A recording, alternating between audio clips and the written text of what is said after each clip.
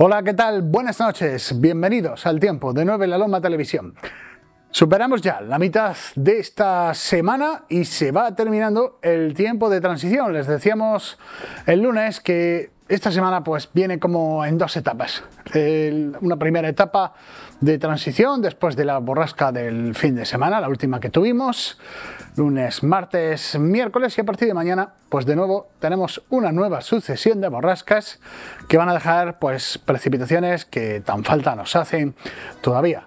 Tenemos dos embalses ya casi llenos, pero siguen habiendo otros con mucha más capacidad y que van a tardar algo más en llenarse. Así que toda lluvia es bien recibida después de la racha que llevábamos. Ahora entramos en materia. Primero, como siempre, vemos las temperaturas que se han registrado en esta jornada de miércoles. Van desde un grado que ha marcado Pontones Cañada Hermosa a los 3 de Alcalá la Real, bueno, uno también de Andújar, dos de Baeza, tres en Torres, Arroyo Janco, Alcalá Real, 5 de Jaén, de Úbeda, de Linares, de Cazorla y 6 de Navas.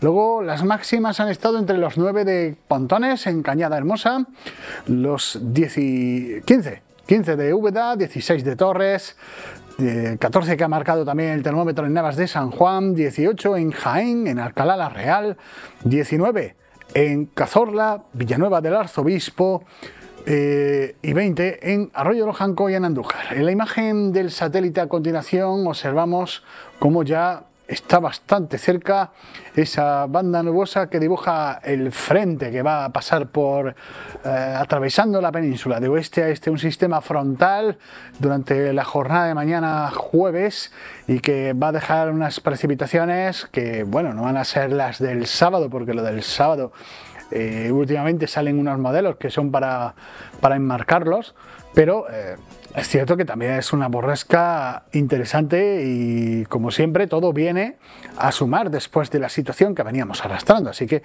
este sistema frontal va a atravesar la península de oeste a este durante la jornada de mañana dejando generosas precipitaciones. En el mapa de frentes, en superficie, vemos la borrasca dibujada ya en la jornada de mañana, todo el frente a la altura eh, casi de la mitad de la península, alrededor del mediodía, de la una de, la tarde, con ese, esa baja, el núcleo de bajas presiones en la cornisa gallega. Y vemos al anticiclón pues algo más desplazado hacia el oeste, pegando más a la costa este de Estados Unidos. En el mapa de temperatura y altitud observamos la masa de humedad que acompaña esa borrasca, ya la vemos casi separada de esa circulación de aire frío del hemisferio norte y pues ya les digo también eh, acompañando a esa borrasca, aportando humedad, nutriéndose de humedad en el océano Atlántico para luego descargar en forma de precipitaciones cuando entre y atraviese la península de oeste a este. Vamos a ver a continuación ya las temperaturas para la jornada de mañana. Anomalía, pues en principio la anomalía de mínimas positiva. Vamos a notar primero un repunte en las temperaturas mínimas en las primeras horas del día, de 2 a 3 grados más aproximadamente que en la jornada de este miércoles. Y respecto a las máximas, pues podemos ver como también hay una ligera subida de 1 a 2 grados en puntos del condado, Las Villas, Segura, o la comarca de La Loma y Cazorla. El resto más o menos parecido a lo de hoy. Se pueden alcanzar mañana 20, incluso superarse los 20 grados de máxima en horas centrales. Lo vamos a ver en valores primero, los mapas de temperatura mínima, primero pues la más baja en Condado, en Las Villas, en Segura 2 grados, 3 por Jaén, por Sierra Morena, La Loma, Mágina, Sierra Sur, 4 en Cazorla y 6 en la campiña. Y las máximas en la jornada de mañana, pues van desde los 13 previstos en la Sierra Sur, a 16 en Mágina, 17 en Cazorla, 18 en Jaén, en La Loma, en Las Villas, 19 en Segura, en Condado y en Sierra Morena, y 20 en la campiña.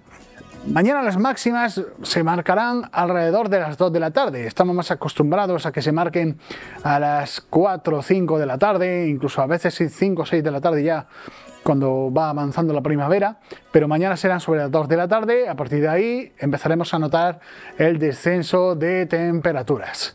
Vemos el mapa de símbolos de la jornada de mañana, nos deja una eh, mapa de lluvias abundantes, más moderadas en puntos como Sierra Morena y Montes de Jaén, como podemos ver aquí en toda esta zona puntos de la Sierra Sur, algo menos, algo más débiles se podría decir en puntos centrales del condado de Mágina y luego también, también van a ser generosas en algunos puntos de Segura, más cuanto más al norte, sobre todo por lo general.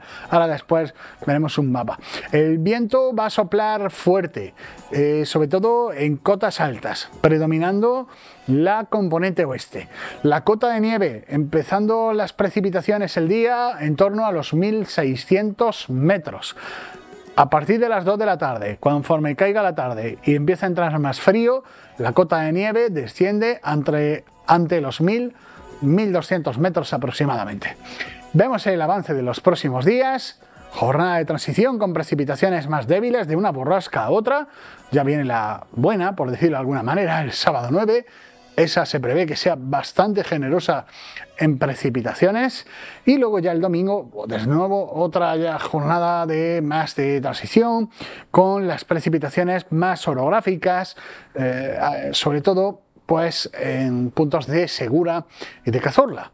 Así que de momento eso es lo que le podemos ir avanzando, pero lo vamos a ver más gráficamente con los modelos probabilísticos, más de 2 litros por metro cuadrado, pues el mapa nos dice que el 100% de la provincia, la jornada de mañana, y vale, está bastante bien que sea así.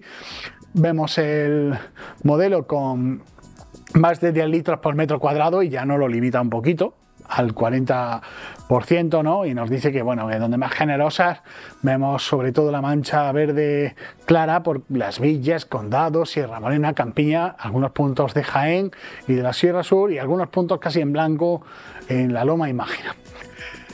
Y en litros, el modelo calcula pues unos 5 litros y medio, por ejemplo, en puntos como Úbeda para mañana, unos 5 litros por Navas, 6 litros en torno a 6 litros en Linares, en Torres, en Cazorla, Las Villas, casi 7 en Segura, en Alcalá la Real, 7 y pico en Andújar, casi 8 en puntos de Jaén. Este es el cálculo, luego ya veremos lo que realmente cae cuando veamos el análisis de los datos de las estaciones meteorológicas.